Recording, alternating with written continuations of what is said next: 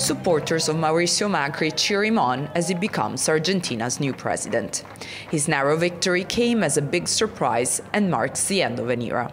After 12 years of the same family in power, Macri has vowed to bring about change. The party's over and the honeymoon period may not last long. Now that Mauricio Macri has taken over here at the Pink House Presidential Palace, he already has many challenges to face. One of them that is very much on his mind is how to bring together a polarized society. At the same place, a night earlier, the former president bid farewell to her supporters. Cristina Fernandez de Kirchner said she was leaving behind a wealthy and organized country. But actually, Argentina has low reserves in the central bank and inflation rates around 25%. Macri has vowed to fix the economy, but expectations are high and these policies are bound to be unpopular.